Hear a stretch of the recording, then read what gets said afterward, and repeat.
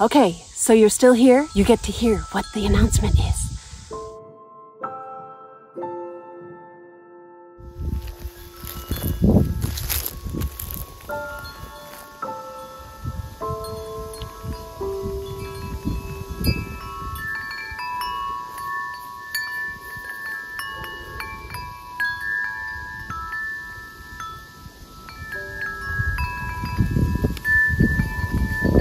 I am in Oklahoma. I'm sitting out here with this wind chime, which is a reminder of my mom's beautiful life. Every time we hear the chimes, we think of her. I'm on my way to California with my sister who is moving there. So I am without Ladybug out, which is very weird for me. I had to leave her behind and I had basically three days to gut her and revamp her before I head to Oregon again. So you'll see the start of that in this video. Be sure to stay till the end where I have a fun announcement for you all. This is it.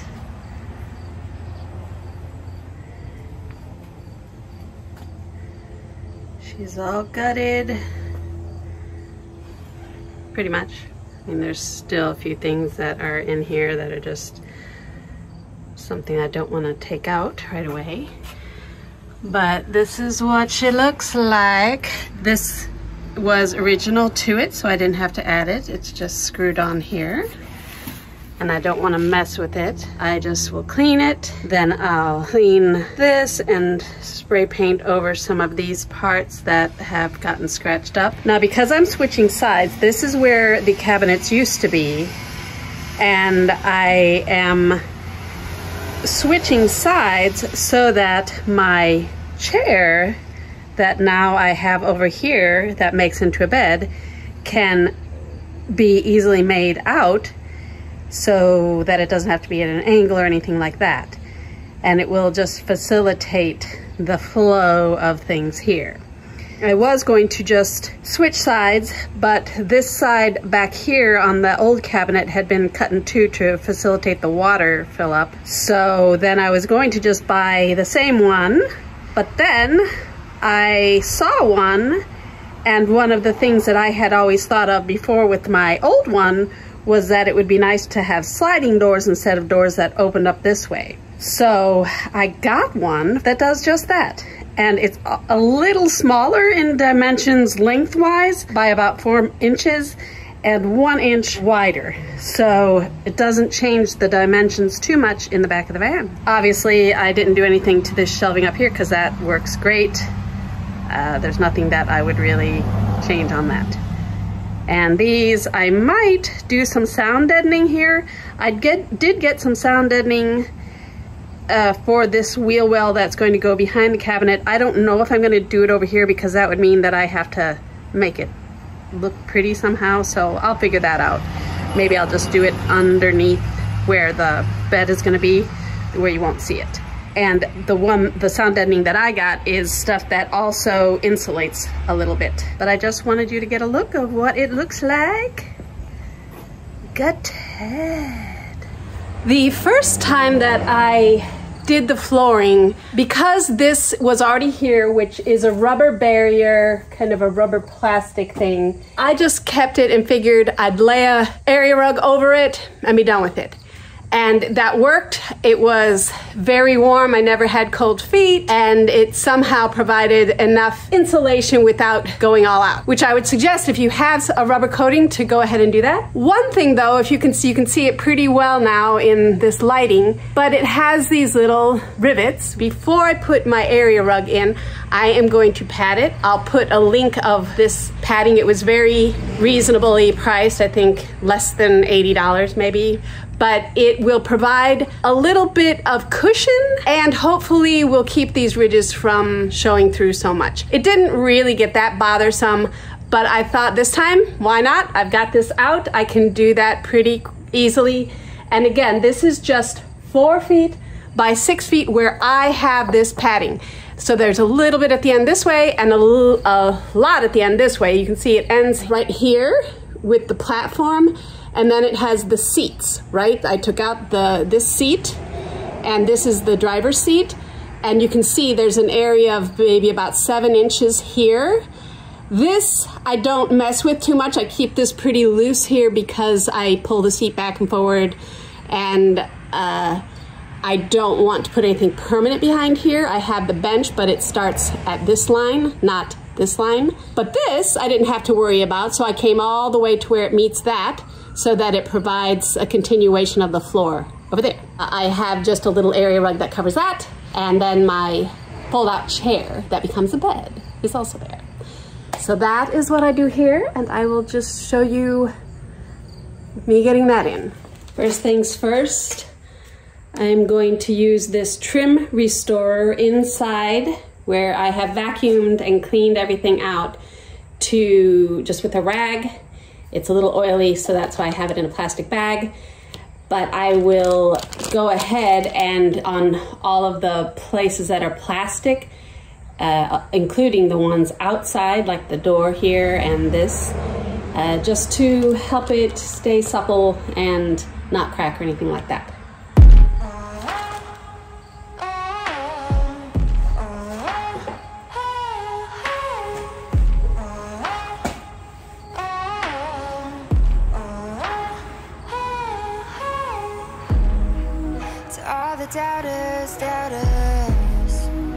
To those who don't believe This is the hour, hour You see That we'll make ladders out of obstacles And stepping stones from roadblocks Sleep over the lines to say we won't cross Next up is using some of this. I had several left over from when I originally did the inside of the van.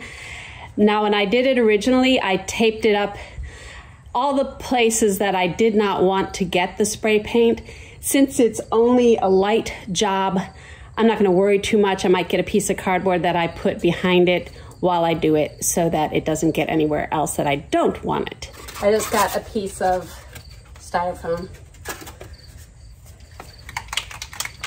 Wipe that off with a rag.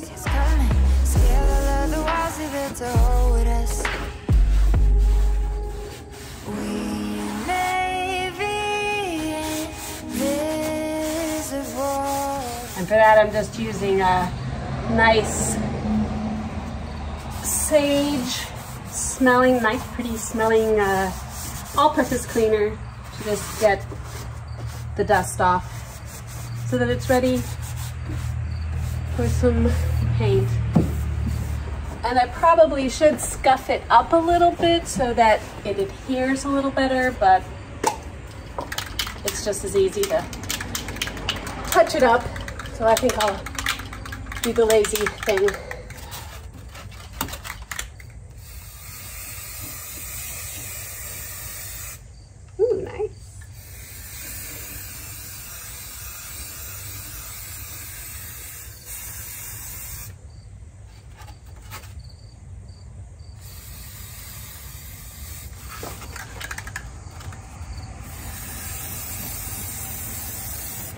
This is what it looks like.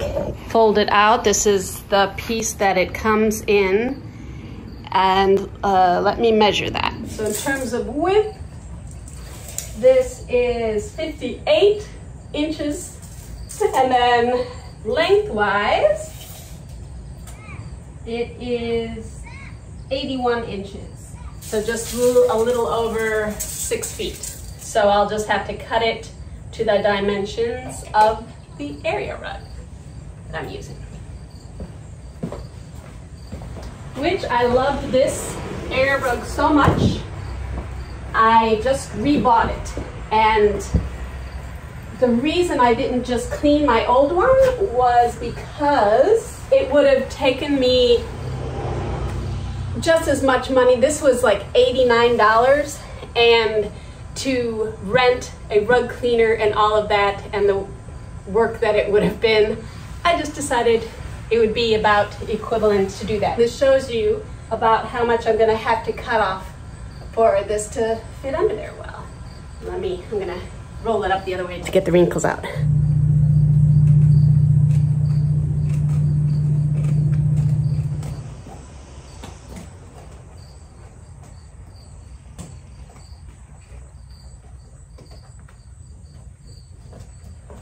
And I did start with uh, X-Acto knife, but it's a little too thick for that. This is just easier.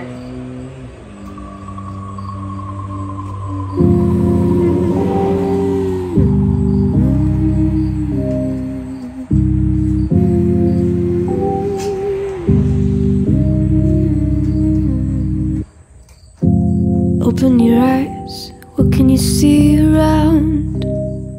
Wind of the open sky, the siren sound. This is a dream. beauty is that it doesn't have to be exact because it's underneath. It's just going to be one of those things. So, yay.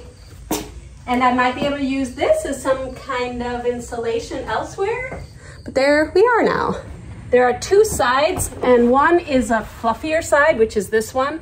And the other one is more like these little fuzzies don't come up so much. But I'm thinking that this is the way that it goes. But yeah, already it, it forms quite the little cush.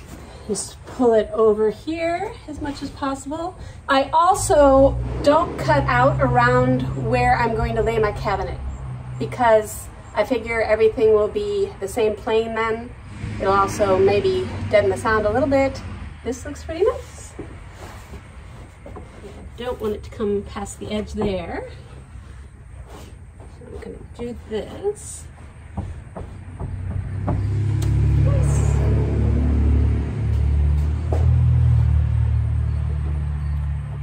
This is that the little fuzzy I was talking about. If you just put your hands over this, this side fluffs up and comes off. This side does not. It's more like felt. So I'm doing it this way, thinking that this side actually feels more cushy and this feels like it'll be some kind of barrier under there anyway. So yeah, this is what this looks like. Kind of annoying, but I will have the area rug over it so it won't be doing that constantly. But it, you can see already, you can't really see the ridges that much. And then with the area rug on top of it, should hold for a while. Again, here's the thickness. That'll be in the description so you'll know the exact, I, I think I did it a half inch. They had a quarter inch and an eighth inch. Maybe this is a quarter inch. It does uh, go over this side, so I might cut that out where it hangs over here. And it hangs over there a little bit, but I'm not too worried. My area rug also did, so we'll see what that looks like. And just put it in there. Lay it on top. You don't have to fasten it or anything. It will kind of be fastened with the bed frame because I put some L brackets down and then obviously the cabinet will hold it down as well. But that's about it. So I did end up cutting this off because I realized, and this is quite malleable so you can put it up or down depending, it doesn't need to be a perfect cut. But I realized that my bench if I put that back in, we'll need to have space to go through it. And that rug also goes over that. So it shouldn't overlap too much. And I think the area rug actually comes out this way. So I'd rather have that come out and be able to go through that nicely. Then I should be able to just go like this and have it come out. Put the boards, some boards back there so that it flattens out some more. So you can get a feel for what this looks like. That is how it looks on the edge here. I think I will have to just cut that little bit off, but otherwise it fits like a glove. Again, four by six area rug. So this is the part that I cut out along here, and then this will just go over it like this. We'll see what this has to do. This might have to be cut off too, but it looks good. Okay, so you're still here?